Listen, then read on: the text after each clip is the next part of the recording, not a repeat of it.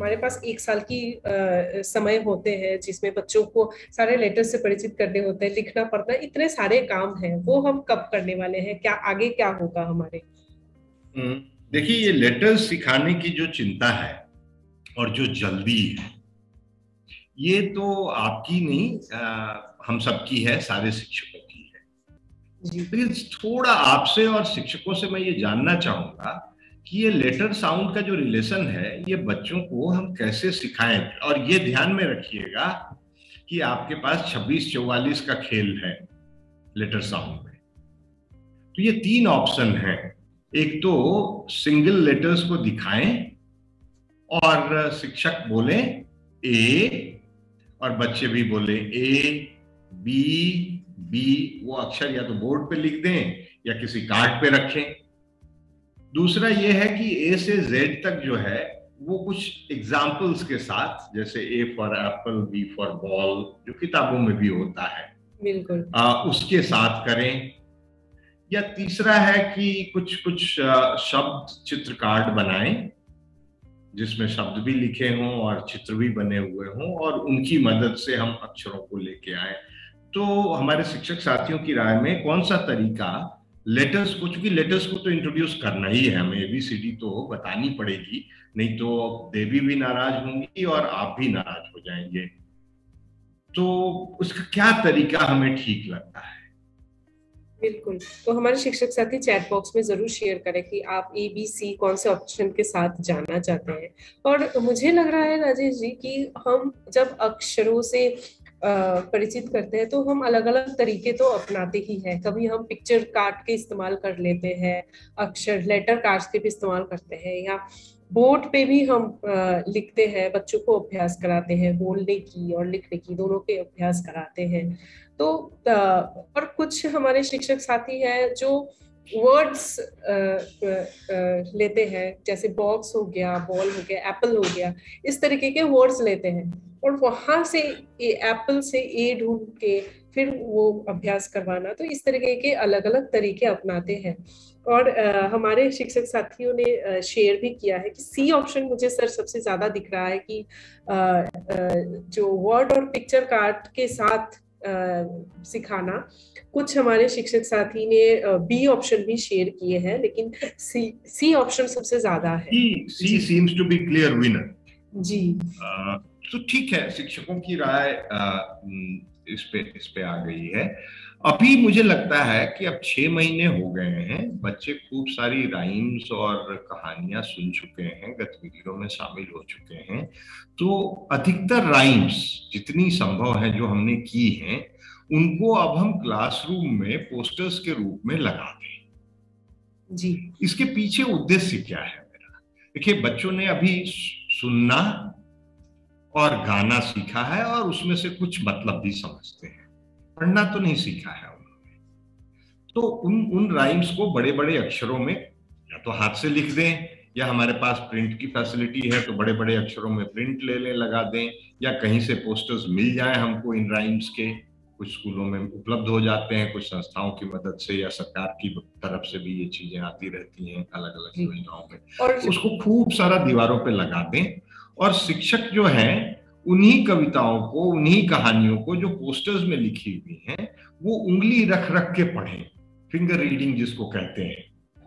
ताकि बच्चों को ये समझ में आ जाए कि ये जो पोएम है, जो सर सुना रहे हैं जो मैडम सुना रहे हैं, ये उनके पास नहीं है, ये तो यही लिखा हुआ है।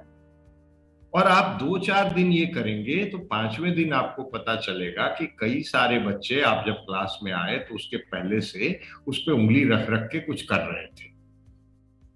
ये हो सकता है कि उसमें से कुछ पोस्टर्स के थोड़े से कोने फट जाएँ, आपके कुछ चार्ट पेपर पे कुछ बच्चों ने पेंसिल चला दी हो। उससे बहुत ज़्यादा घबराने की ज़रूरत नहीं है। छोटे बच्चे हैं, ये सब तुमको करना ही चाहिए।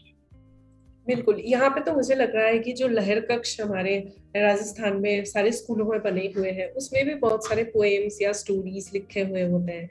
उनका भी इस्तेमाल हम इसी तरीके से कर सकते हाँ। हम चित्रों का भी इस्तेमाल कर सकते हैं देवी। अब ये एक पिक्चर है देखिए इसमें बहुत सारी चीज़ें हैं बहुत सारे लोग हैं बहुत सारे रंग हैं इन पे आप खूब बात कर सकते हैं बच्चों से। और बात करने का तरीका हम शिक्षक साथियों को मालूम है कि भाई पूरी अंग्रेज़ी में तो आप बात नहीं कर सकते लेकिन अंग्रेज़ी में हिंदी में बात करते करते बीच बीच में अंग्रेज़ी के शब्द ले आते हैं। बिल्कुल और हमारे शिक्षक साथी ये रेड कलर है। जी, जी। जी, और हमारे शिक्षक साथी ज़रूर चैट बॉक्स में भी शेयर कर सकते हैं कि किस तरीके के ऐसे पिक्चर दिखा के क्या सवाल बच्चों को किया जा सकता है।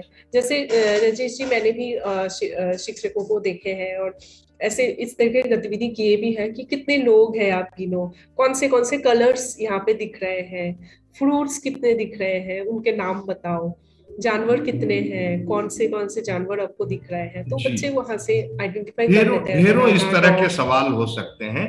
जो द इम्पोर्टेंट थिंग जो महत्वपूर्ण बात यह है कि उस हम्म। बातचीत में इक्का दुक्का अंग्रेज़ी के शब्द आ रहे हैं क्योंकि हमारा उद्देश्य बेसिक वोकेबुलरी इस्तेमाल करने का भी है। तो उसमें रेड आ रहा है थ्री आ रहा है मैन आ रहा है बॉय आ रहा है एप्पल आ रहा है जो भी चीज़ें चित्र में दिख रही हैं तो इस इस तरह की चीज़ें आती हैं तो इस प्रक्रिया में चित्र को देखने में बच्चों को मज़ा तो आ ही रहा है। और साथ साथ वो वोकेबलरी भी एक्वायर कर रहे हैं। जी। तो इस इसको जैसा मैंने कहा कि शिक्षक जो है वो उंगली रख रख के इन कहानियों को या राइम्स कुछ राइम्स किताबों में भी होती हैं तो शिक्षक ऐसा भी कर सकता है कि किताब खोले और किताब का चेहरा बच्चों की तरफ़ रहे अपनी तरफ़ ना रखे।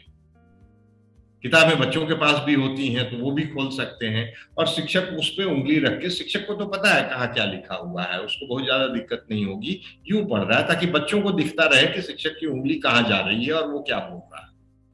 एक दो बार करेंगे आप बच्चे भी आपके साथ साथ उंगली चला रहे हैं किताबों में तो बच्चे भी ये करना शुरू कर देंगे।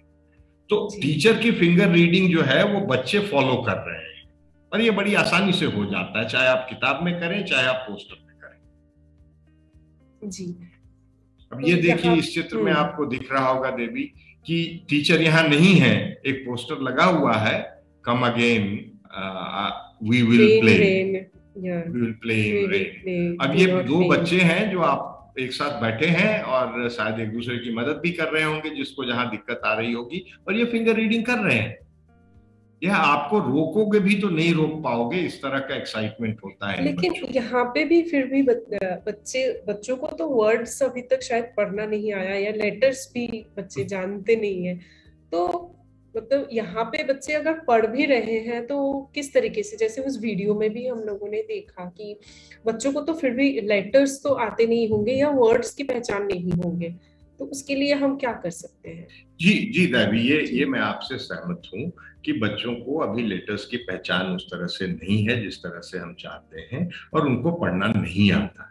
एक चीज़ मैं आपको मज़े मज़े में बता दूँ कि ये यहाँ तक की गतिविधि अगर आपकी क्लास में हो रही है और आपके कोई इंस्पेक्टर साहब या कोई अधिकारी आते हैं तो आसानी से आपको ए ग्रेड मिल जाएगा क्योंकि आपके बच्चे जो है उंगली रख रख के दीवारों पे पढ़ देंगे और आपके इंस्पेक्टर साहब को लगेगा कि इस क्लास के सारे बच्चे अंग्रेज़ी पढ़ना जानते हैं। लेकिन हमें पता है कि इनको पढ़ना नहीं आता है।